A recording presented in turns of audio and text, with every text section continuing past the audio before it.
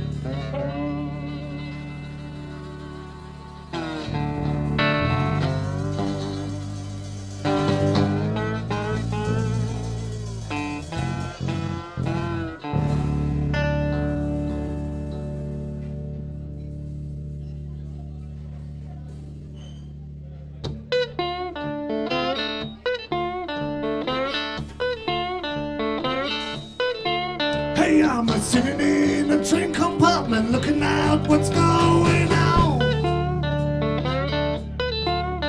There's so many pretty things around and people seem like having found. My train is running on and on and I know got a destination. They ask me why I'm sitting in, why I won't get out to be free. Terrific boundless life to live,